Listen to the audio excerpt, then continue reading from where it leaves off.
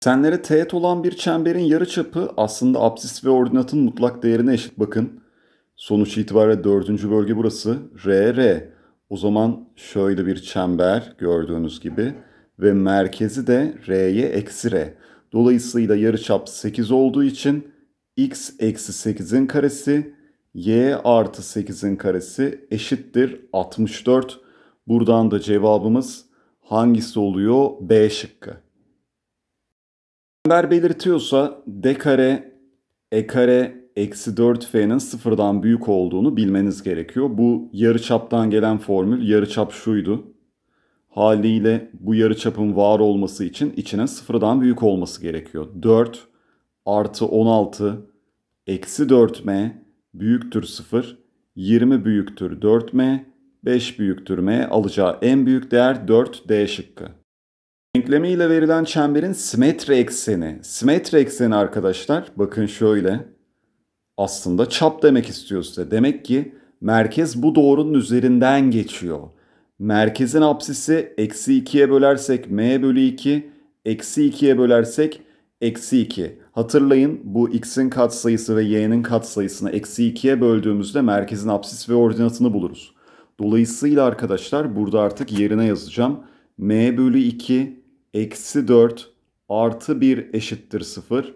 m bölü 2 eşittir 3 ve m 6 geldi E şıkkı. Çember verilmiş. Merkezi 15'e 8. Başka bir çember buna dıştan teğet ve merkezi 0'a 0. O zaman merkezler arası uzaklık yarı çaplar toplamına eşit gördünüz mü şekilden de anlaşılacağı üzere.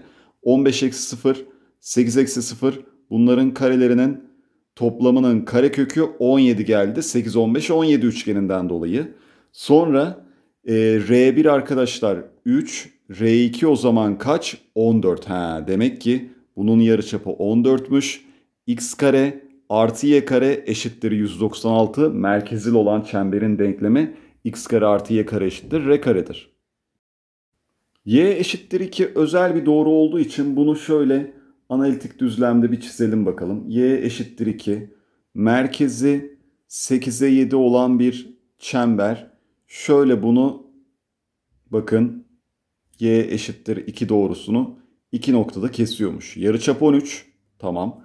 Bu arada 7 olduğu için ordinat da 2 olduğu için y eşittir 2'den kaynaklı buraya 5 kalır.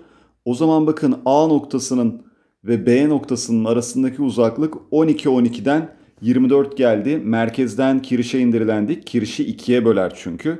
Cevabımız E şıkkı. Dik düzlemde arkadaşlar noktalar x ekseni, y ekseni, orijinde falan olursa çizerek yapmak lazım. Yoksa dikkat ederseniz ben birçok soruyu rastgele çizerek yapıyorum alelade doğrularda ve noktalarda. 15'e 0, 0'a 8, 0'a 0. Böylece birleştirdiğimizde bakın bir dik üçgen oldu. O zaman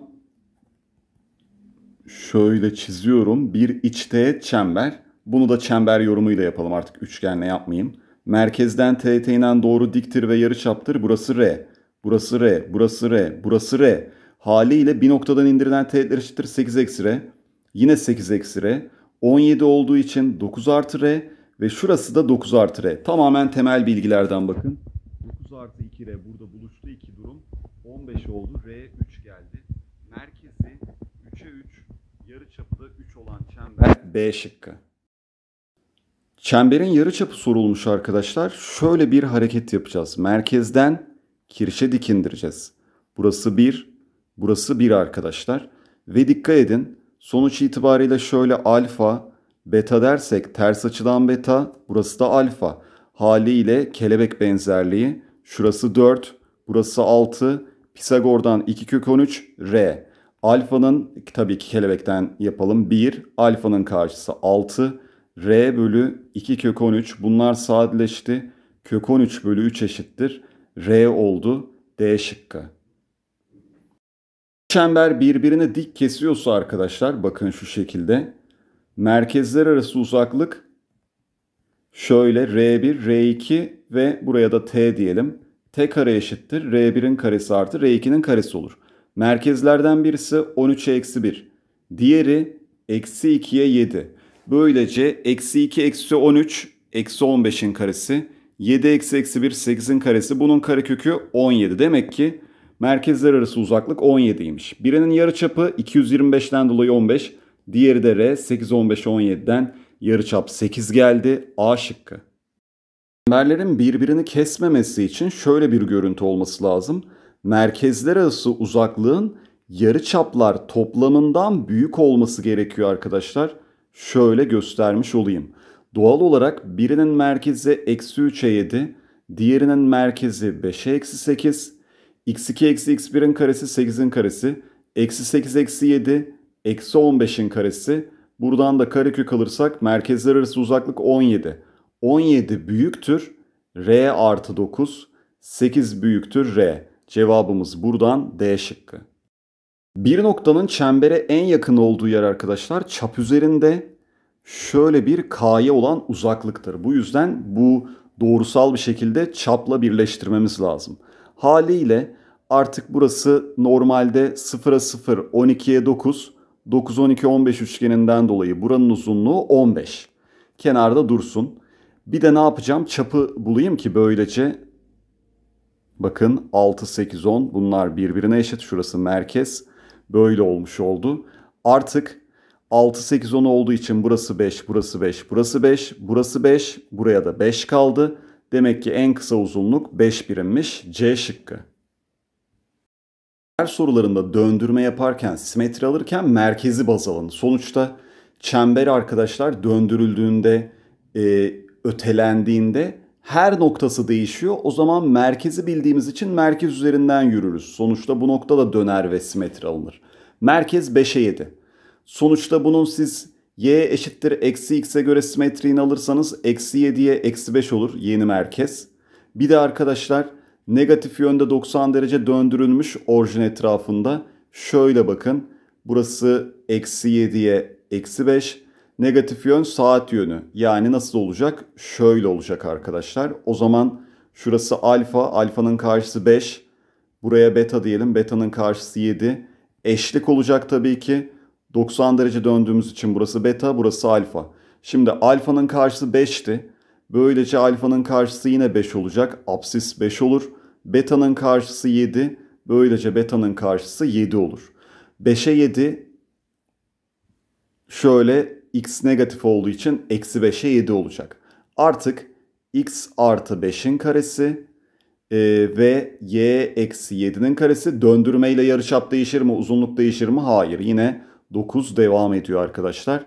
Cevabımız A şıkkı. Burada dikkat etmemiz gereken şey arkadaşlar merkezden teğete dikindirdiğimiz zaman bakın merkezin apsisini aslında biliyoruz 7. Ordinat da merkezden teğete inen dik ordinat olacağı için bu soruda yarıçap aynı zamanda ordinata eşit. Dolayısıyla şimdi şunu söyleyebiliriz. 7 eksi 11'in karesi artı r eksi 8'in karesi eşittir. r karedir. Böylece 4'ün karesi hatta yazalım 16 artı r kare eksi 16r artı 64 eşittir r kare. Buradan da 80 eşittir 16r. r 5 geldi. Demek ki x eksi 7'nin karesi y eksi 5'in karesi eşittir 25'miş C şıkkı. Merkez arkadaşlar 12'ye 0 verilmiş. Yarı çapta 4 kök 3 ona dikkat edelim. Şimdi arkadaşlar burada y eşittir kök 3 bölü 3 de önemli. Alelade bir doğru değil. Tanjant alfa kök 3 bölü 3 ise 30 derecedir. Bakın burası 30. Şöyle bir dik indireceğim. Merkez 12 olduğu için 90'ın karşısı 12 ise 30'un karşısı 6 olacak. Yarı çapta arkadaşlar 4 kök 3 olduğu için 48 eksi 36 2 kök 3 oldu 12 olduğu için. O zaman burası da 30 de kaç dereceymiş? Şurası 30 dereceymiş. Burası 30. Burası 60 derece. Şöyle yine 60 ve burası 30. Gördüğünüz gibi artık büyükçe çizersek şöyle bir durum oldu. Oradaki AD taralı bölgesini bulmak için merkez açı 60 derece geldi. Yarı çap 4 kök 3. Burası 4 kök 3 zaten artık şunu söyleyebiliriz.